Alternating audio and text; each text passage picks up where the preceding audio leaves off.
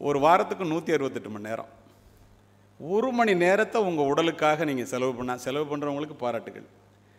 நான் ரொம்ப பிஸியாக இருக்கேன். ஒரு மணி நேரத்தை செலவு பண்ணால் ஏழு மணி நேரம் குறையும் நூற்றி அறுபத்தி மணி நேரம் ஒரு ஒரு மணி நேரம் உங்களுக்கு சாஸ்வதம். அது மட்டும் இல்லை நம்ம அதை செய்யலைன்னா நான் ரொம்ப பிஸியாக இருக்கேன் பிஸ்னஸில் இல்லை என் வேலையில் ரொம்ப பிஸியாக இருக்கேன்னா சென்னையிலேருந்து நாமக்கலுக்கு இந்த கூட்டத்தை அட்டன் பண்ணுறதுக்காக நான் ரொம்ப அவசரமாக போகிறேன் இல்லை வேறு அவசரமாக போகிறேன் பெட்ரோல் போடுறதுக்கு நேரம் இல்லை அப்படின்னா எப்படி நம்முடைய பயணம் பாதியிலேயே தடைப்பட்டு விடுமோ நிறைய அறிவாளிகளுடைய பயணம் உடல்நலக் கோளாறினால் பாதியிலேயே தடைப்பட்டு போகுது. நீ பாருங்கள் பெரும்பாலும் கோவிட் நேரத்தில் உள்ளே போன மிகப்பெரிய மனிதர்கள்லாம் உடல்நலத்தை பார்த்துக்கிட்டவங்கலாம் தொண்ணூறு பர்சன்ட் திரும்பி வந்துட்டாங்க. பார்த்துக்காதவங்க எல்லாருமே போயிட்டாங்க. இந்த நேரத்தில் இதை நான் சொல்லுவதற்கு காரணம் உண்டு. உடம்பால் அழியின் உயிரால் அழிவர் திடம்பட மெய்ஞானம் சேரவும் மாட்டார். உடம்பை வளர்க்கும் உபாயம் அறிந்தேன். உடம்பை வளர்த்தேன் உயிர் வளர்த்தேன் என்பர் திருமூலர். உடம்பு நல்லா இருந்ததாண்டா உயிர் அதில் தங்குண்டார்.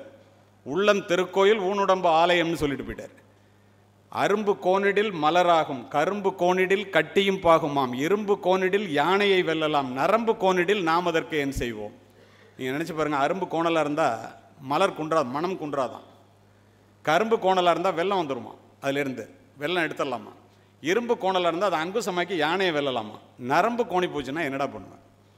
விசையொரு பந்தினை போல் நான் வேண்டியபடி செல்லும் உடல் கேட்டேன். யார் சொல்கிறா பாரதி. அவருக்கு அது கொடுத்து வைக்கல. இல்லைன்னா எத்தனை ஆண்டுகள் இருக்க வேண்டிய ஒரு மாமனிதன் பாருங்கள் உணர்ந்து சொல்கிறார் மனோன்மணியம் சுந்தரனார் நூறு ஆண்டுகளுக்கு முன்னால் உடலில் உறுதி உடையவரே உலகில் இன்பம் உடையவராம். இடமும் பொருளும் நோயாளிக்கு இனிய வாழ்வு தந்திடுமோ? சுத்தமுள்ள இடமெல்லாம் சுகமும் உண்டு. நீ அதனை நித்தம் நித்தம் பேணுவையில் நீண்ட ஆயுள் பெறுவாயே. காலை மாலை உலாவி தினம் காற்று வாங்கி வருவோரின் காலை தொட்டு கும்பிட்டு காலன் ஓடி போவானே. யமன் வந்து காலை தொட்டு கும்பிட்டுட்டு காலையில் சாயந்தரம் நடக்கிறவங்க காலை தொட்டு கும்பிட்டு ஓடுறோம். யோசித்து பாருங்கள் அருமை உடலில் நாமெல்லாம் அறியும் வகையில் அறிவோமே வருமுன் நோயை காப்போமே வையம் புகழ வாழுமே பெரிய பாட்டுக்கு நேரம் கருதி கொஞ்சமாக சொல்லியிருக்கேன். இதை ஏன் சொல்கிறேன்னா தயவு செய்து மனதையும் உடலையும் சேர்த்து உன்னோட ஒன்று இன்டர்லிங்க்டுன்னு சொல்லி அதை சேர்த்து பராமரிப்பவர்கள் மட்டுமே தன்னுடைய திறமையும் ஞானமும் வளரும் போது அந்த பதவிகளை பெற்று அதை நிர்வகிப்பதற்கு ஏற்ற உடலும் மனமும் அறிவும் உடையவர்களாக இருக்கின்றார்கள். நாற்பது ஐம்பதை கடந்தவர்கள் தயவு செய்து இதை ஞானமாக கடைபிடிக்க வேண்டும் என்பதற்காக இந்த பதிவினை சொல்லுகின்றேன். சரி எல்லாரும் தேடி ஓடுறது பணம். நம்ம it is not bad to be rich but it is only unfair only to become ரிச்மா ஏன் அப்படி சொல்கிறேன்னா வாழ்க்கைக்கு பணம் தேவை.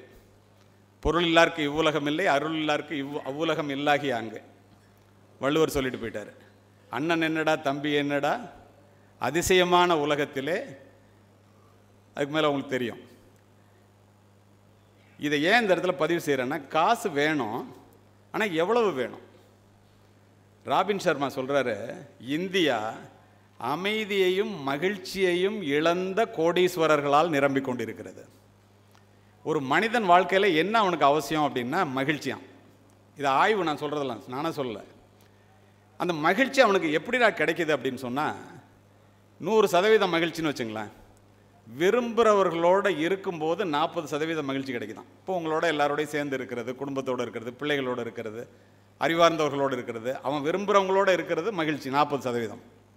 நாற்பது சதவீத மகிழ்ச்சி விரும்பிய வேலையை செய்கிறதுல கிடைக்குதாம் பாக்கி இருபது சதவீதம் இருக்கு இல்லையா? பத்து சதவீத மகிழ்ச்சி மனிதனுக்கு மனிதன் வித்தியாசமாகுதான் ஆனால் பத்து சதவீத மகிழ்ச்சி தான் பணத்தால் கிடைக்குதாம் எல்லா மனிதர்களும் இந்த பத்து சதவீத மகிழ்ச்சிக்காக தொண்ணூறு சதவீத மகிழ்ச்சியை இழந்து நிற்கிறார்கள்.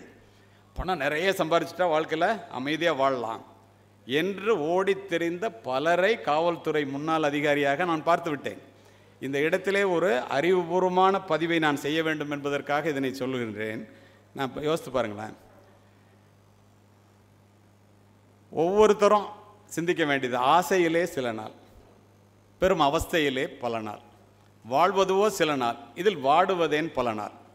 கண்ணதாசன் வந்து அர்த்தமுள்ள இந்து மதத்தில் அற்புதமாக சொல்லுவார் ஆறு ரூபாய் சம்பளத்துக்கு நான் வேலை பார்த்துக்கிட்டு இருந்தேன் மளிகை கடையில்.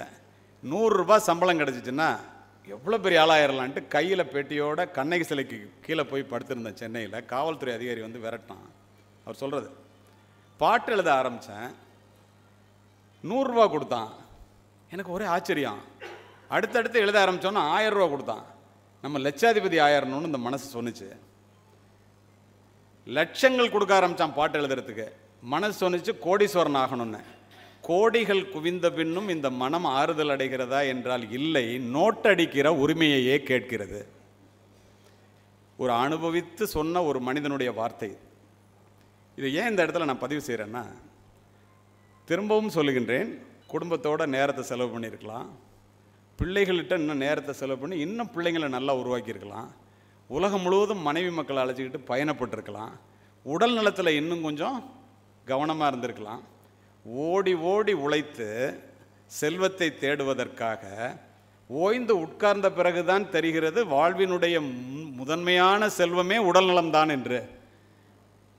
உடற்பயிற்சிக்கு நேரம் செலவு செய்யாதவர்கள் மைதானத்தில் நேரம் செய்து செலவு செய்யாதவர்கள் மருத்துவமனையிலே நேரம் செலவு செய்து தான் ஆக வேண்டும்.